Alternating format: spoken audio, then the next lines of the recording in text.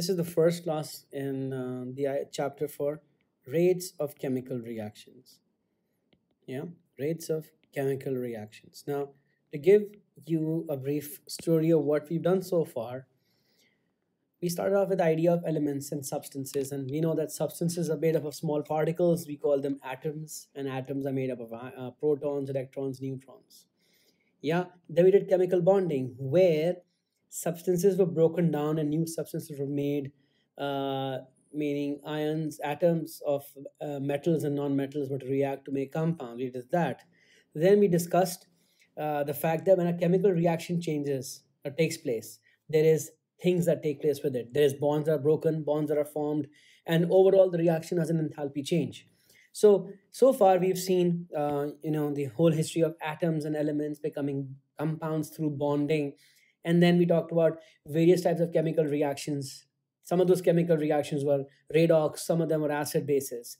And then for all reactions, there was an accompanying enthalpy change or energy change that we just solved for in the previous chapter. Now, this chapter is going to talk about how fast a chemical reaction that takes place. So basically, how fast, you know, is basically what we are going to talk about in this chapter. How fast does a chemical reaction take place and how can I make it go slower or faster? Make it go slower or faster. That's a concern with this chapter. And to understand this, we've got to invoke the earliest ideas of the kinetic theory of particles. And in some cases, and in senior studies, this is in fact called uh, reaction kinetics the, because it's based on the kinetic theory of particles. So I'm going to invoke the kinetic theory also here. And remember what is kinetic theory? Discussing mainly states of matter how particles are free to move and so on and so forth in the gaseous state and uh, uh, basically uh, in the solid state they are in a fixed position in the liquid state are free to move and in the gaseous state they are even freer to move which is why of all the types of particles liquids and solids and gases react fast. To understand how how uh, how fast a, a, a reaction can take place or how you can make it go faster or slower? You have to best first discuss how does we have to study now how does a reaction take place how does a reaction take place we're going to talk about that first and then we talk about uh, how we can change the rate how we measure the rate so how does a reaction take place let's discuss that part first all right and then we talk about the uh, the, uh, the practical ways of measuring different rates of reaction. We'll see that also. Absolutely. That's a practical aspect of it. How you could do it in the lab and ATPs and all that stuff in the real life also. But at the atomic level, at the what we call the kinetic level, how do reactions happen? Now, reactions happen when particles touch particles. When I use the word particles in this chapter, understand I mean either atoms or I mean molecules or I mean ions. Because in some cases, ions react with each other. In some cases, atoms react with each other. Or in some cases, atoms react with molecules. And in some cases, ions react with molecules. So it's either of these three types of particles that react. So I am, for the sake of this chapter, going to talk, uh, going to call them particles. All right. So we're going to talk about how particles react and they how do they react with each other so that's the focus of the first half of this class how does a reaction take place and i'm talking about i'll be using the word particles to refer to the smallest units of our reactants you know in acid alkali react reactions the particles were h plus ions and oh ions you know meaning for an acid and an alkali reaction the real particles are H plus ion and OH minus ion reacting. For sodium and chlorine reacting to make the sodium chloride, let's say the ionic compound, the particles are atoms of the metal and chlorine gaseous molecules, you know, and uh, other reactions might have other kinds of particles. So we're going to talk about those. All right. yes i know this is not balanced let me say half cl2 to save everybody the embarrassment of the fact that i didn't mean to balance it didn't worry about balancing it i was just giving an idea so now so what am i talking about here i'm talking about the fact that let's discuss how reactions take place right? There's the kinetics of reactions. So now here let's say for example you know i'm talking about i'll take an example of hcl now this is fun because you see uh, let's say and i'll take a simple example because this is the easiest one to use one of the easiest ones. Because hydrogen and chlorine can react to make 2 moles of hcl as a gas. Literally hydrogen gas can react with chlorine gas to make two molecules of hcl gas and uh, this could be called reduction, redox, oxidation, or even just formation of HCl. Okay. So when this reaction takes place, you know, when we did the moles concept and we talked about, okay, this many grams and that many grams, remember that we would take large amounts of these things, which would mean there are billions and billions and billions of these particles that react.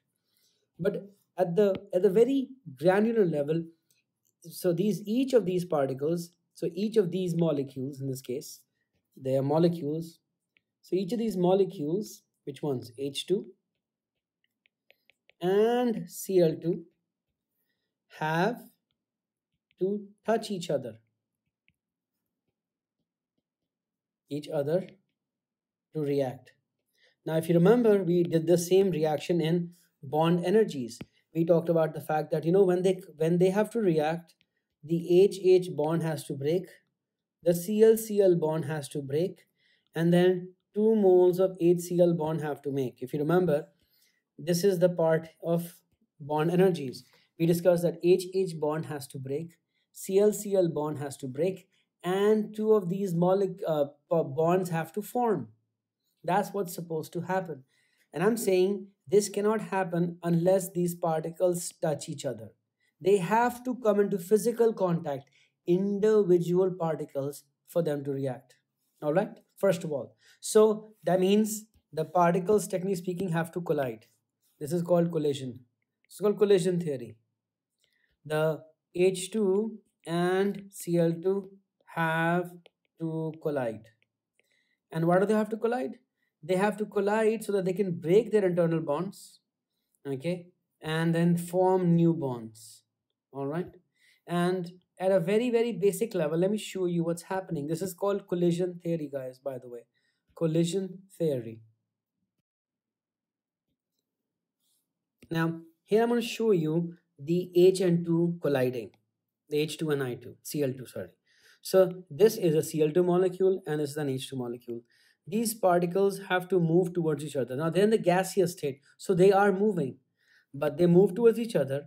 They, they look at them coming close. They're coming close. They start touching each other because they have to touch each other. They literally have to touch each other. Yes. Why? Only then can this bond break between the CL-Cl and the H-H so that Cl and H can overlap. Then Cl and H can overlap. Their overlap has to be broken. So what's happening was that Cl-Cl was here and H-H was here. Okay. Let's say I use another color for H, green for now. And so what happens is I'll duplicate these guys so now here they come really close. They have to touch each other. Why? So that they too can apas may bond. Meaning these two bonds have to be broken. They literally have to be broken. And two new bonds have to form. This is the bond breaking and the bond forming we talked about. So in the end, Cl bonds to H. So they come together, they touch each other, they collide, they react, and then they move away. This is the collision theory of reactions. Okay? Without particles colliding, you are not going to have a reaction. All right? It might seem very obvious to everybody now, but it wasn't so obvious early on. And now, yeah. So, there. Yeah? So, we this is called collision theory and particles have to collide. Now, the funny thing is that in the real world, a lot of Cl2 and H2 molecules are going to collide every second. But most of them are not going to be successful collisions. Okay? there are many many collisions but only a small fraction of those collisions will result in a chemical reaction.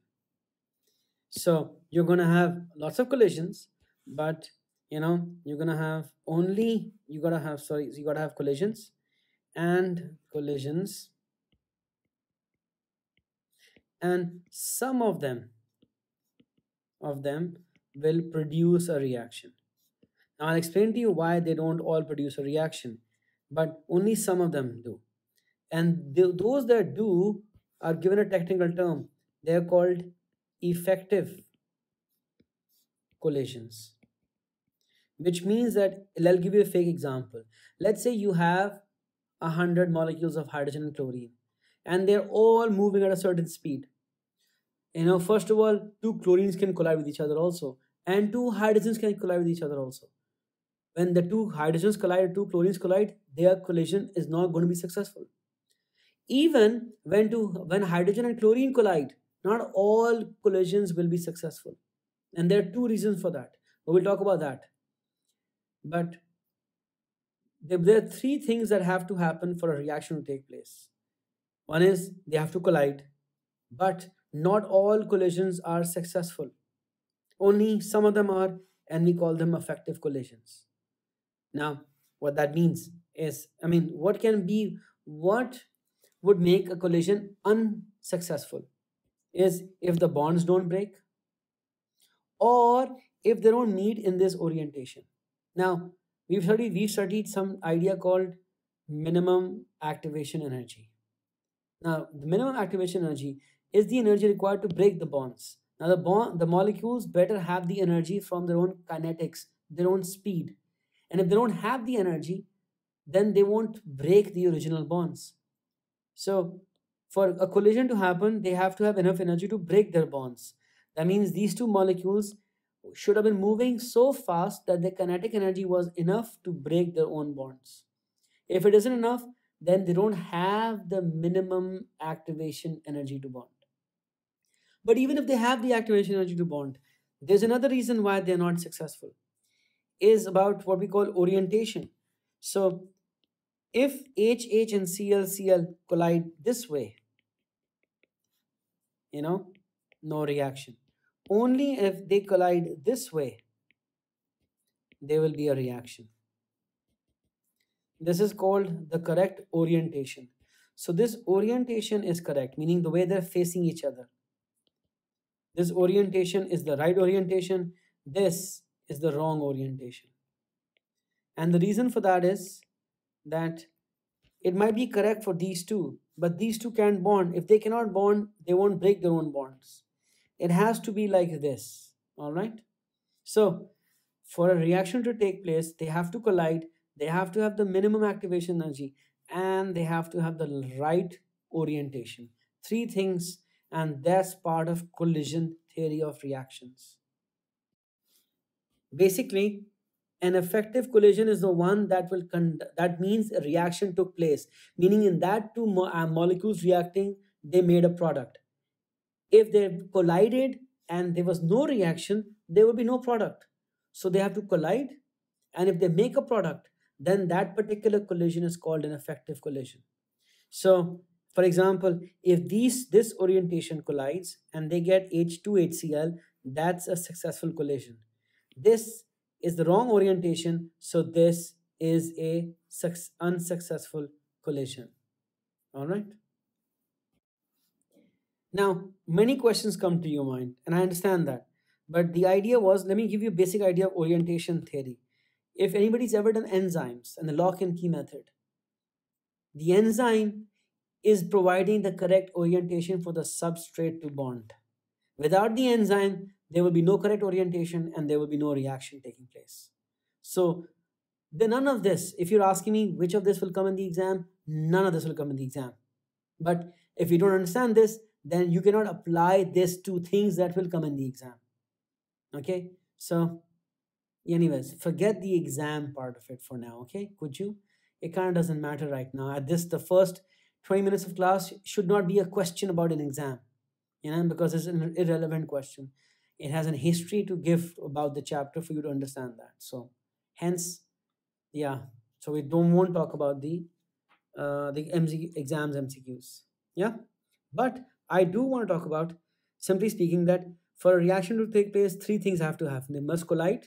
They must have energy lower than activation energy or greater than activation energy, and they must collide in the correct orientation. All right, these three happen have to happen so that you can have better effective collisions. Now, why does this matter? Because when you start thinking about all the ways to improve the rate of reactions, you can improve any of these three factors. You see? So one was one was the particles, the reacting particles must collide. Second is they must have minimum EA. And third is they have the correct orientation. Now, O levels IGCSE is mainly concerned only with the first two that there must be collision and they must have some minimum activation energy. But there's also, yeah, orientation that matters. And so there are some factors that can increase this, and there's some factors that increase this. There's some factors that increase the collision frequency, and some fact some who increase the effectiveness of collisions. That's the two things, and that's what we're going to work out. All right.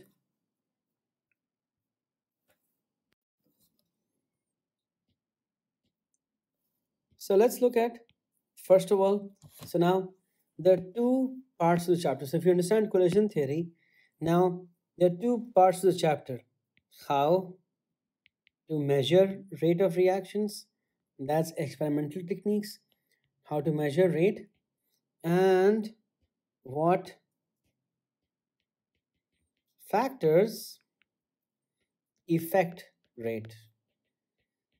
And um, naturally speaking, I think this one is, gets done first only because I've started with collision theory.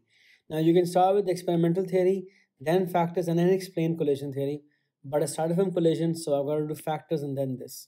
So what factors affect rate? Now understand the factors that affect rate will either do one of the two. Will either have to have to help with the um, will affect uh, either they can affect collisions or affect क्या कहते हैं effective collisions understand there are two different things. Something's wrong with my writing today. Yeah. Okay? So you can have collision you can actually just increase total collisions. So you can you can really affect collisions meaning you can have more collisions. Or you just can have the same collisions but make them more effective. Understand there are two different things. So the way to change rate is to either change what we call either change collision frequency make them either go slower or faster or or change the proportion. Meaning how many of the free collisions proportion are effective. Proportion of effective collisions. So maybe if 10% were effective collisions, you want to make them 20% or 30% or 5%. So either you can make more of the collisions that already happen effective or just have more collisions overall. Both can affect rate. So if you, because think about this, this is what I'm saying. Let's say you're having, let's say just as a rough number, let's say you are having a hundred collisions per second right and only 10% are effective or successful is the word right so how many are total collisions so at this stage what is the total effective collisions per second per second. Now I'm teaching this to make you understand this chapter because this chapter is constant in O levels AS and A2. So you have 100 collisions and 10%. Let's can we change the 10% to let's say 8%? makes it a little better. No, no, not 8%. Sorry. Let's change this to 200, not 100. So I have got 200 collisions per second, but only 10% of them are successful. So how many effective collisions are there? 10% of 200 is 20. Now, I'm saying either increase the total collisions per second or decrease them either increase or decrease the total collisions or increase this percentage. Either increase the collision frequency or increase the proportion of effective collisions. So if this is scenario a let's say i say in scenario b i make this into 300 collisions per second now we'll talk about hey how can you do that and i'll tell you in a second but let's say I, somehow I can make instead of 200 collisions, I'm making 300 collisions. But only still 10% are successful. Now how many collisions do you have per second? Successful. My, my English has gone to the dogs right now. So total that becomes 30 per second. Yeah, we all get that? Awesome. Here, you've gone from 20 collisions per second successful to 30 collisions per second successful. So now you're making, instead of making 20 units of the product, you're making 30 units of the product per second. So you're making more per second, so the rate is increasing. Yeah? So here, the proportion does not increase. Scenario B, I did not. So in scenario B, I only changed the frequency. I did not change the proportion of effective collision. All right. I only changed the frequency. So I only went from 200 to 300. It's still only 10%. You're absolutely right. I didn't change it. Absolutely. But now I'm going to change it. Increasing number of collisions just leads to more results. Yes. So uh, the only i mean either because look the end goal is having more successful collisions. Either you can just have more collisions so that means more successful collisions. Or you can say you know what? Let's keep them at 200 collisions because you need to understand okay this change from 200 to 300 is because of a certain factor. We'll talk about that in a minute. But let's say i said you know what? No no no no Let's try a certain scenario C where I still have only 200 collisions. Okay? Per second. Total collisions per second. But now, let's say 15%, no, not 15, let's take a crazy number. Let's take 18% are effective or what we call successful. Now, in this scenario, what's the total effective collisions per second? Is how much? 36 per second. So now amongst the three scenarios i keep giving you numbers that seem to keep increasing the rate right? So comparing a to b in b i just made the made them have just more collisions somehow.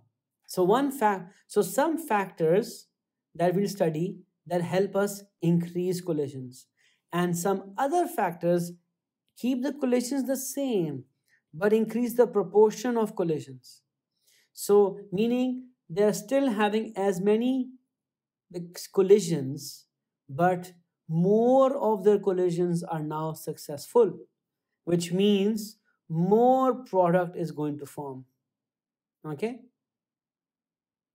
Now we are going to give you the factors are part of the syllabus. You might have already heard of these factors before. Their factors are temperature pressure concentration surface area and catalyst. Some of those factors affect things like scenario b. Some call scenario c.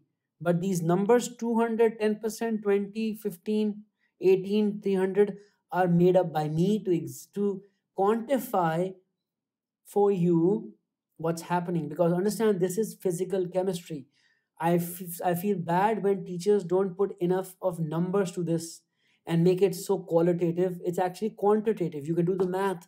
And anybody who gets basic arithmetic, when you get the math of it, everything becomes easy to understand because obviously that makes sense. You've seen the numbers yourself. So here, some factors go from A to B, and we'll, we'll discuss them soon, but they include things like temperature, pressure, concentration, yeah.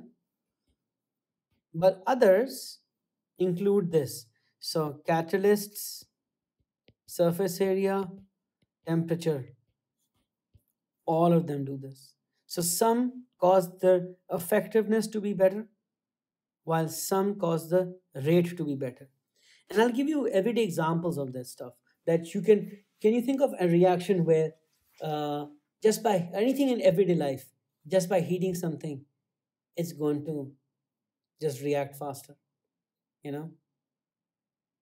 Anybody comes? Anything comes to mind? Yeah. Cooking is a great example of how you heat something and the heating in fact makes the particles move much more. And you might wonder well how does heat affect speed? And we'll talk about that. Heat affects kinetic energy because heat energy gets converted to the internal particles kinetic energy which therefore results in higher speed.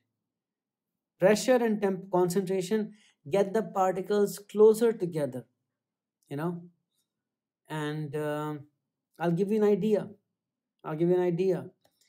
Like, if somebody were to, let's say, squirt a bottle of perfume in a small bathroom and you're next to them, the reaction, which is you smelling them, will be faster.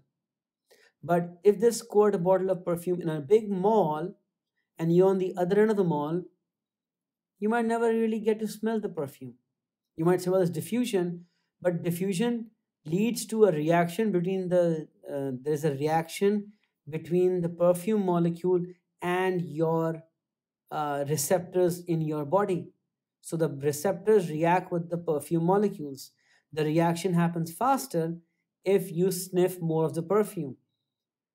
There are so many smells happening on a daily basis that you never really get to effectively register because the quantity of those molecules in your nose coming are too little but when there are too many, you register.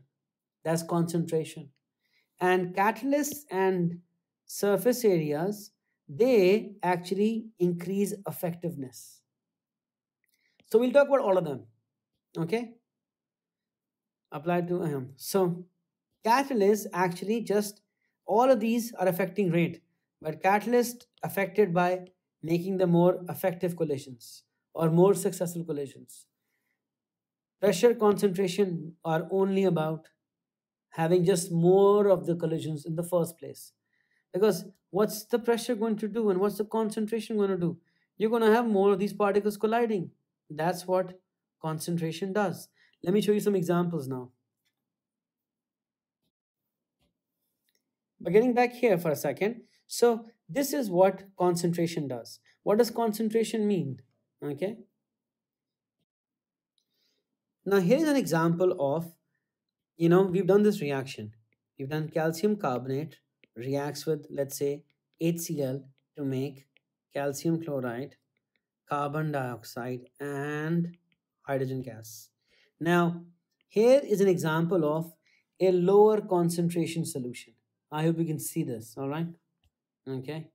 Here's an example of a lower concentration solution. And here's an example of a higher concentration solution okay? Now because you a lower concentration means less particles per unit volume a higher concentration means more particles per unit volume.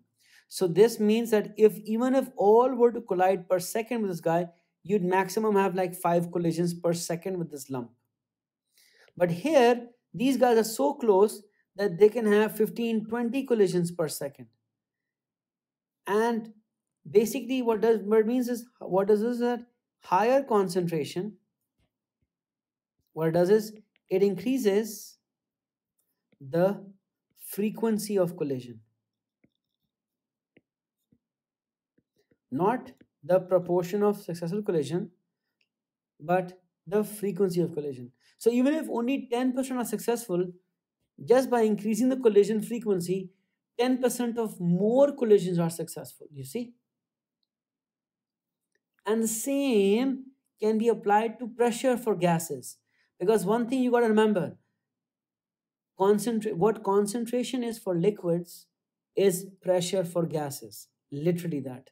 If concentration is particles per dm cube, pressure is collisions per cm cube. But collisions can only happen because of more particles. So the same idea can be applied to gases. So if gases have to react like this, you know, let's say this is nitrogen and hydrogen reacting. Now in both cases, which two are going to have, which of the two do you think, the left or the right, are going to have more collisions per second? Which of the two are going to have more molecules colliding with each other per second? It's so obviously the right one. So higher pressure also increases frequency of collision.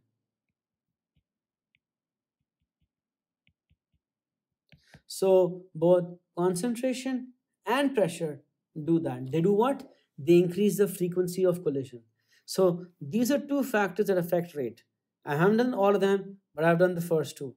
So concentration and pressure. These are two factors that affect rate. How? By changing the frequency of collision.